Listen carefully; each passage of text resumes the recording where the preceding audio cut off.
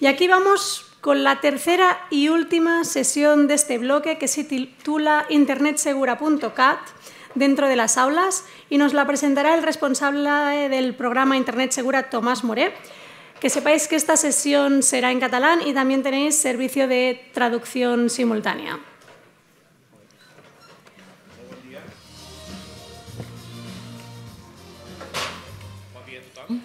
Sí, se'm sent? Ara, molt bé, bon dia a tothom.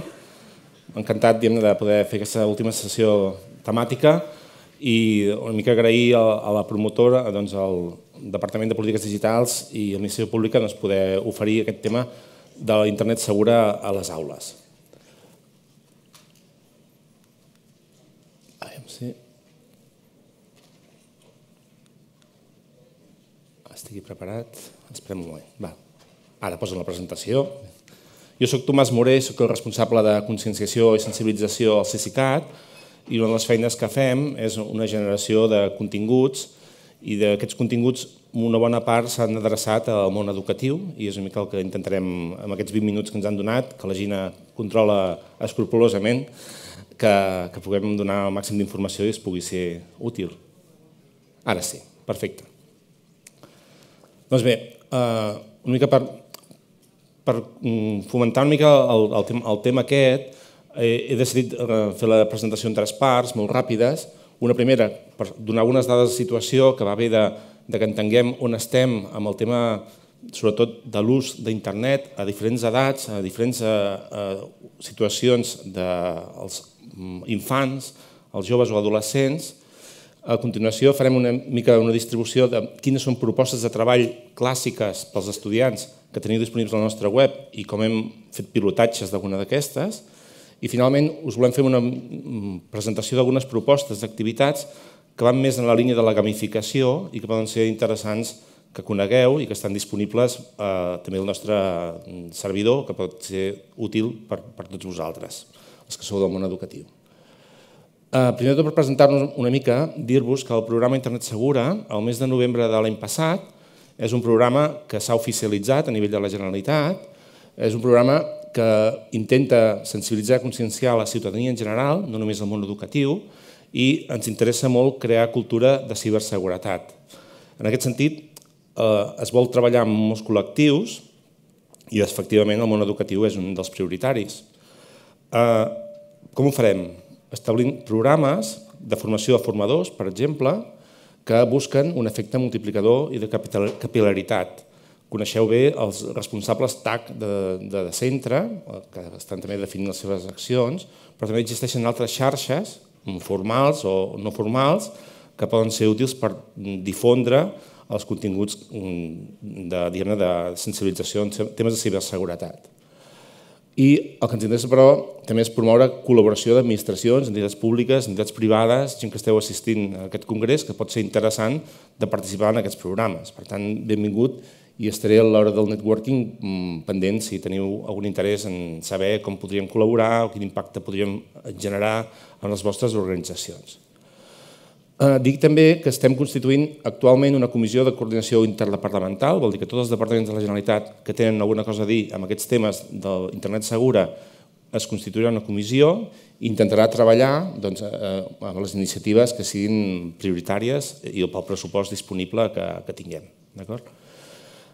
Eh, nosaltres, per poder reflectir tota aquesta informació, eh, a la web internetsegura.cat trobareu una secció, que és la que dediquem a educadors, i que nosaltres en diem que és el centre de recursos una mica per poder difondre mm, quines són novetats o materials que poden ser de vostre interès. Una, un exemple bo que intenta eh, explicar com es vol treballar és aquest fet de, per exemple, convertir el Dia d'Internet Segura, que se celebra el segon dimarts de cada febrer de cada any, una iniciativa de, de Safer Internet mm, Day.org que és de les xarxes InSafe, les xarxes InHop, del que és el programa europeu de Connecting Europe Facility. Nosaltres en participem de fa molts anys, però intentem és traslladar a, a nivell de Catalunya un lema conjunt, una, un, un esforç col·lectiu en què participin des de les AMPAs, el, el propi XTEC, l'EDU 365, la, el conjunt de Mossos, que impliquem joventut, afers socials, és a dir, que podem tenir una visió des de moltes mirades diferents sobre aquest dia d'internet segura. Això ens ha portat bons resultats i animem una mica també a sumar-se i a poder eh, cada any doncs, difondre un lema col·lectiu. Dit això, per situació també, dir-vos que nosaltres estem interessats en totes les edats. I aquí en aquest gràfic intentem reflectir quines són edats en què comencen els més petits, perdó, els més petits a navegar per internet.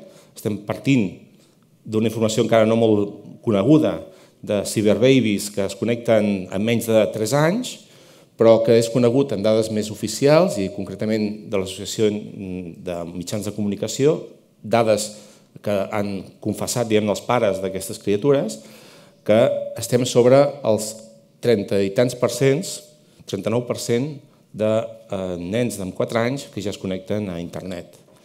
Eh, aquesta evolució de 4 a 6 anys doncs, porta gairebé el 50% i els usos són aquests que aquí reflectim, eh? usos de eh, veure vídeos, d'aspectes creatius, de pintar, dibuixar, aspectes de solucionar petits puzzles, solucionar petits jocs que són per ells intuitius i que poden treballar, o el fet de mantenir mm, aquelles mascotes digitals una mica que els pares posen a disposició. Eh? Aquesta situació, quan entrem més en fases de cicles de primària, ja augmenta l'ús d'internet fins a un 70 tants per cent. Evidentment, aquí hi ha una adquisició de capacitats de lectura i d'escriptura que es reflecteixen en cerques, en navegació, en, en el Google, bàsicament, i també altres usos. Eh? Tot, tot és conegut, ja que la televisió digital entra molta força també en aquestes edats. El joc i, com no, els aspectes de, de la música. Eh? Si anem avançant, dels 10 a 11 anys, ja entrem en l'aspecte del mòbil. En 10 anys ja tenim un 54,7% de nens que tenen mòbil. I, per tant, ja comencem a entrar en un altre paradigma d'usos que tenen a veure més doncs, de xarxes socials, que, com el TikTok o els xats que es poden produir a partir d'eines que la pròpia eh, Google pot facilitar, els Hangouts o d'altres eh, xarxes de missatgeria, o també l'utilització de la webcam o el YouTube, principalment.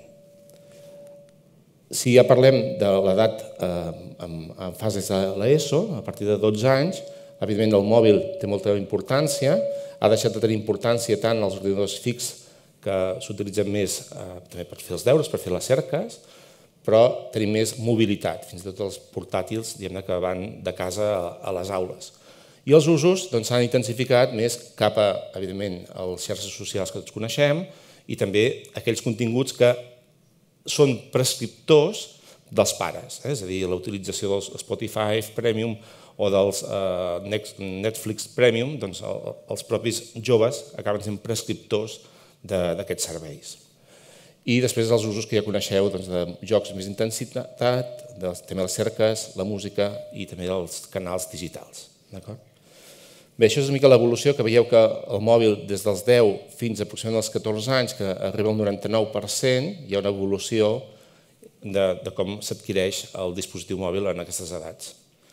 Aquesta adquisició ha variat en el temps. De fet, aquí hi ha una comparativa del 2016 i el 2019. Eh, la primera, el 2016, és unes dades que ens va facilitar l'Institut Nacional d'Estadística. La de 2019 és una enquesta recent que van fer el IOMO del març de 2019. Eh? Per tant, veieu que eh, només en percentatge, en 10 anys, augmenta 20 i tants punts de, de punts percentuals l'ús de mòbil en aquestes edats i s'estreny més cap a més edats. Aprofitant aquesta enquesta, nosaltres vam preguntar a aquests mòbils, a aquests nens, a aquests joves que tenen mòbil, quins són hàbits cibersaludables, si estan adquirint hàbits a partir de l'ús de l'escola o a temes a nivell d'ús de, de referència familiar. I una de les preguntes que vam preguntar és si, per exemple, per totes les comptes que tenien, eh, tenien contrasenyes diferents. Doncs una mica la resposta és que un 60% utilitza diferents comptes per eh, diferents contrasenyes per diferents comptes. Això vol dir que el 40% únicament utilitza una contrasenya per tots els comptes, eh, que és la part una mica de risc que, que podem tenir. Quants configuren els permisos a les seves aplicacions, sobretot per gestionar la privacitat, ja sigui la geolocalització, la gestió dels, dels anuncis, els aspectes de que la seva xarxa sigui oberta, sigui tancada... Bé, un 68% confessa que sí. Més en noies que en nois. Eh? És un aspecte interessant. Que fan servir xarxes wifi públiques, per tant, s'estalvien els datos, eh? s'estalvien de gastar eh, aquell mes, doncs el 46,4% diu que utilitza xarxes wifi gratis, obertes. És a dir, per tant, amb poques eh, situacions de seguretat sobre on m'estic registrant, si conec o no conec el propietari, etc. I una dada que ens fixem molt més des del món educatiu, que diu haver estat víctima d'assetjament a la xarxa. Aquest aspecte d'assetjament a la xarxa ho hem de fer amb una visió àmplia. No vol dir que hagi sigut un ciberbullying intensiu, sinó estem parlant de persones que han sentit molestes pels missatges que han rebut, que han rebut insults, que s'han sentit assetjats. És un aspecte molt, que hi ha gent molt més sensible que d'altres. Llavors, aquesta dada hi ha estudis que la distribueixen amb dos paràmetres de més i menys intensitat. Eh? Aquesta 11,6 és sobre la mitjana que altres estudis a nivell de l'estat espanyol o Europa eh, es diu. Eh? I eh, Finalment, doncs, si en aquest dispositiu que utilitzen diàriament, per exemple, doncs, tenim la necessitat doncs, d'actualitzar-la, de posar-la al dia, de, de, de tenir aquest dispositiu una mica més eh, preparat. Eh? Doncs en aquest cas, un 78,8% ens diu que sí. Més nois que noies. Eh? Si m'he de fixar en una dada, concretament aquesta d'assetjament, simplement perquè veieu, no afecta igual els nois que les noies. A la mitjana és aquest 11,6, però el 15,3% de les noies diu sentir-se assetjada per les xarxes. Eh? I en canvi només és un 7%, un 7,5% la de nois. I si això ho veiem per edats, eh, veiem que la, bueno, hi ha una tendència, mm, un manteniment a aquestes edats de 12 a 15 anys, però més aviat una tendència a ascendir a mesura que passa la, el temps. Va, doncs, dit això, propostes que nosaltres fem per treballar aquests aspectes tant a la primària com a la secundària és a partir doncs, de les clàssiques eh, unitats didàctiques. Nosaltres n'hem definit 5 per l'àrea de primària i 5 per l'àrea de secundària. Les de primària van des de cicle inicial fins a cicle mitjà i, i més elevat, i les de secundària doncs, poden ser tant fetes de segon com a tercer d'ESO, bàsicament, primer, segon i tercer d'ESO. D'acord?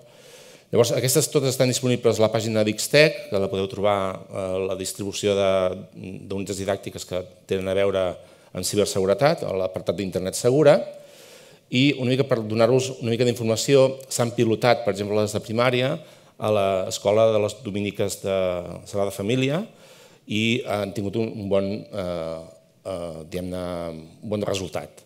Els objectius una mica aquí els teniu, eh? conèixer, valorar, aplicar els valors i normes de bon ús, adquirir habilitats de mantenir i millorar el clima de convivència i ús d'internet, desenvolupar la competència lingüística, desenvolupar competències digitals, eh, conèixer situacions de risc que des del punt de vista de conducta en quant a ús i abús en aquestes edats podem començar a incloure, podem començar a treballar i també fomentar aspectes ètics i legals. És a dir, el tema de construir identitat digital és un aspecte que s'ha de construir com més aviat millor. Llavors, en, en edats de 6, 7, 8 anys podem començar a explicar eh, els temes de què implica, què vol dir la identitat digital i sobretot l'aspectes de la privacitat, eh, que ens interessa molt de construir ben aviat.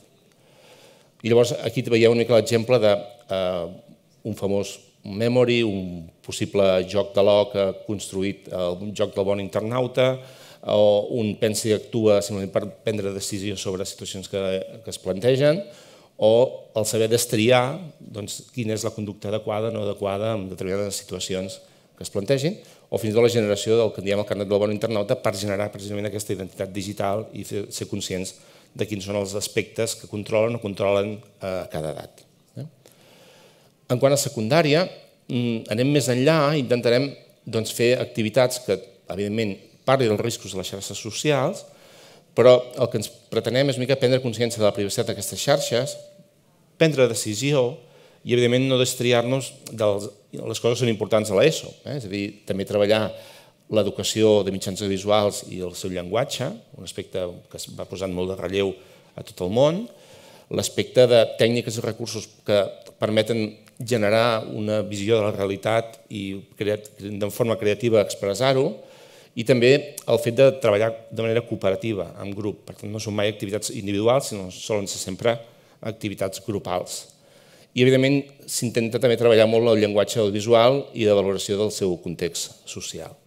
Aquí doncs, eh, hi ha fórmules de treball des de plantejar els mm, videofòrums, amb diferents diversitats de vídeos que poden plantejar problemes com el ciberbullying, el sexting, o aspectes, el grooming o d'altres eh, situacions que es puguin treballar a l'aula.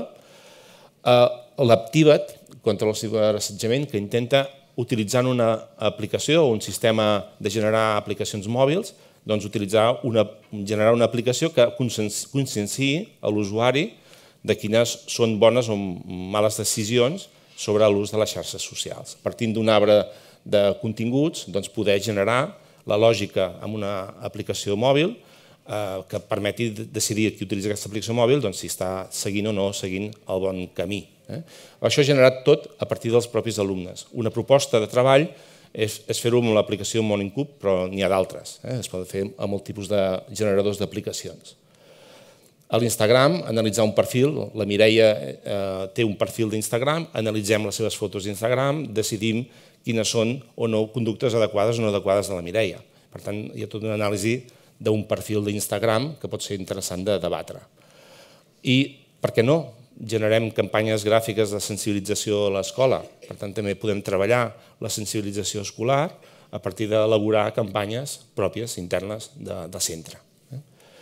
I, bueno, evidentment, l'ESO és bastant interessant i motiva bastant la generació de curtmetratges, ja sigui via mòbil o ja sigui diguem, mitjans més professionals que poden portar una càrrega important de feina, però sobretot molt de desenvolupament d'equip cap a un objectiu comú, com pot ser el de treballar els aspectes de sensibilització.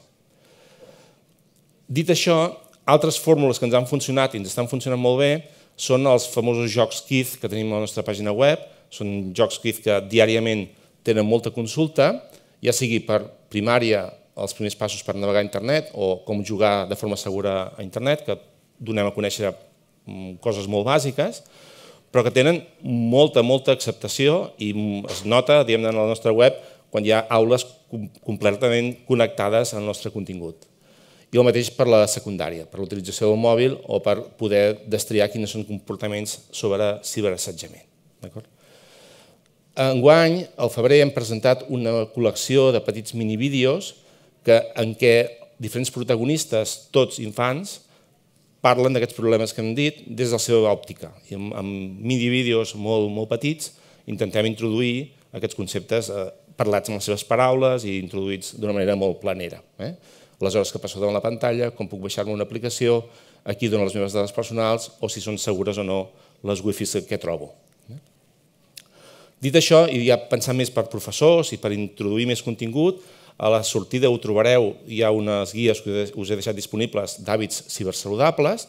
També tenim un apartat a la nostra web que parla de diferents maneres de veure eh, la percepció de la ciberseguretat des d'un aspecte més ciutadà, que també és interessant, aquestes guies, introduir-los amb conceptes a l'aula. Eh? I, evidentment, el professor pot tenir més capacitats sobre com ha de resoldre els problemes de dades segures, utilitzem el doble factor d'autentificació en les aplicacions a l'aula, eh, o encara estem introduint la contrasenya davant de tots els alumnes. Revisem la privacitat de les aplicacions que utilitzem. Frau digital. Eh, ens poden enganyar moltes de les coses que tenim. Al món educatiu, evidentment, també hi ha frau. El civisme digital, evidentment, aspectes que tenen a veure amb el ciberassetjament es poden tractar aquí i aspectes de com tenir els dispositius al dia, sobretot quan hi ha incidents que poden ser greus. Eh? El d'aquesta setmana, per exemple, doncs, descobrir que WhatsApp té un forat de seguretat i que necessitem actualitzar l'última versió eh, com és aviat millor. Eh? I si no ho heu fet, doncs, sisplau, feu-ho que podem tenir un dispositiu amb un forat molt important per la veu IP del propi WhatsApp. Bé, doncs aquesta és una altra forma més clàssica de treballar-ho. Quan parlem de propostes d'activitats més novedoses, nosaltres ens plantegem també gamificació, en aquest cas grupal, una presentació d'un contingut que vam fer al, IOMO 2017, en què per grups 20-25 mm, nanos d'una sola classe, de primer a quart d'ESO, podem generar un espai de treball en què intentem, com a missió, sobreviure a un ciberatac. Com es sobreviu un ciberatac? Doncs es planteja amb un, un joc de rol en què un game master i proposa una sèrie de situacions que poden anar contra aquests grups que generem, que són científics, que són cibermetges, que són transporters, que són líders, que són simplement humans que viatgen en una nau espaial, i el que volem és salvar una missió de salvar la humanitat. Eh? I per tant, amb un, eh, un Game Master que defineix quins són els problemes que podem tenir, quins són els impactes, les amenaces que té aquesta aventura, com ens podem defensar. I llavors donem molta explicació de quines són mesures de defensa, les expliquem, i després quan sabem com funcionen, doncs juguem. I juguem eh, tots junts, en equip, i sobretot mesurem molt bé quin és l'objectiu final del grup. Eh? I per tant introduïm molts conceptes de treball de grup i sobretot de reflexió del grup de com ha actuat un equip, si hem actuat pels objectius personals o pels objectius generals de, de tot un grup. Eh? Per tant, això des del punt de vista organitzacional, la ciberseguretat cada cop més incideix molt en l'aspecte del grup i de la col·lectivitat que defensa doncs, l'organització que sigui, eh? sigui l'empresa, sigui l'escola, sigui l'aula. Per tant, eh, introduïm aquests conceptes molt interessants. Eh? Un altre aspecte que us el puc presentar en un petit vídeo eh, són ja grups de 3-4 persones simulant un laboratori d'anàlisi ciberforense. Llavors aquí plantegem conceptes tan feixucs com les metadades, les cookies, la phishing, el ransomware, el farming, i l'historial de navegació descobrint-lo simplement jugant com si estiguéssim en un laboratori de ciberseguretat. Us passo el vídeo i potser serà més fàcil per explicar-ho.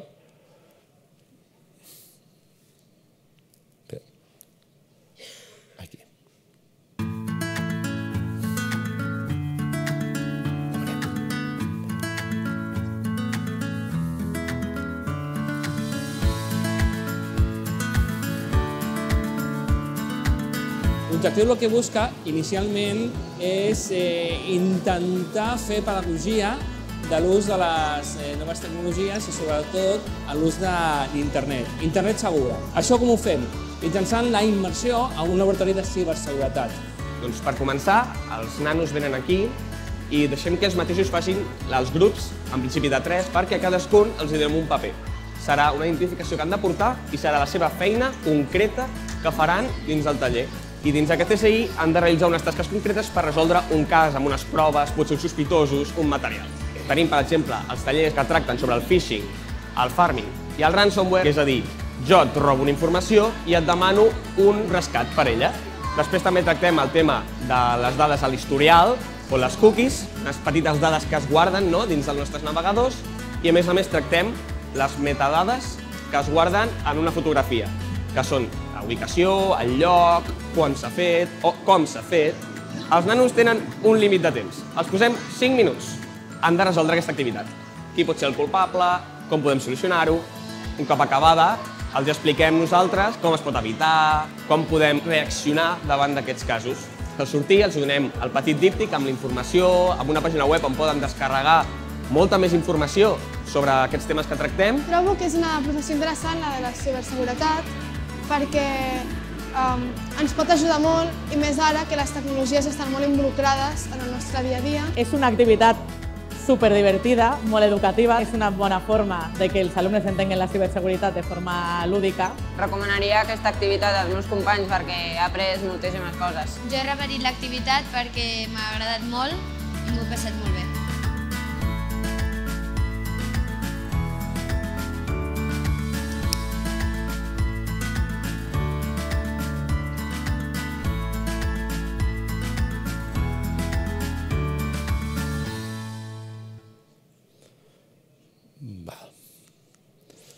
I per acabar, que això és una activitat que vam fer el, el IOMA del 2018, el del IOMA del 2019 ha estat fer un pas més en la gamificació i intentar doncs, presentar un joc de ciberseguretat. Llavors, en aquest cas, és una ciberaventura, el que intenta és resoldre eh, d'una manera intuïtiva eh, tot una, un atac que s'ha produït a la ciutat de Vilabot i aquesta ciutat doncs, ha passat coses i tenim uns personatges que ens ajuden a resoldre el problema els quatre robotets que fan un equip i tots junts doncs, van a resoldre eh, aquesta problemàtica. Llavors, el joc està disponible està, eh, en l'enllaç que us hem posat aquí, està disponible a la web, treballa aspectes que tenen a veure doncs, eh, dades segures a, a l'aula, a la vida quotidiana, treballa la prevenció, els continguts de sensibilització en una àrea que en diu la biblioteca, eh, treballa al parc amb els aspectes de civisme digital i el dormitori de casa amb els aspectes de privacitat. Llavors, cada estança genera una sèrie de conceptes i, per tant, introduïm tots els elements d'una manera conjunta i pot d'una manera jugant, immersivament, doncs poden anar resolent eh, la problemàtica.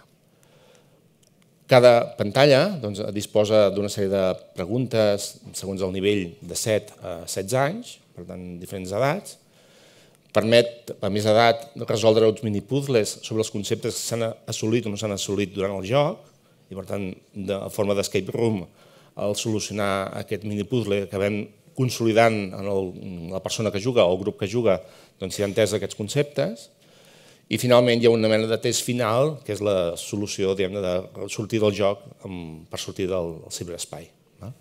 Bé, aquesta web aquest joc el teniu disponible a la web, doncs us la recomanem que el proveu i ens dieu doncs, com, ho, com ho heu vist. Nosaltres en el guió ens va anar molt bé, ens va funcionar molt bé, ens cal veure ara si a nivell d'aula o a nivell de recurs de treball en petits grups doncs pot ser d'interès. Eh? Uh, I bé, fins aquí doncs, uh, el nostre web internetsegura.cat, trobareu molts d'aquests continguts eh, bàsicament a les àrees de Xtech, de Edu365, que, que fan difusió eh, per aquests canals que són coneguts per tots els educadors, però també ens anem obrint altres perfils, doncs, per exemple, de famílies, eh, perfils d'AMPAs, perquè tots aquests recursos puguin ser utilitzables i puguem tenir un feedback vostre si han estat útils i podem millorar-los. Eh? Eh, ens trobeu a les xarxes socials i bé, molt agraït doncs, que hagueu pogut estar amb nosaltres. A la sortida teniu algunes de les guies d'hàbits cibersaludables i també us hem deixat un petit tapa webcam que pot ser interessant per recordar el nostre web. Moltes gràcies.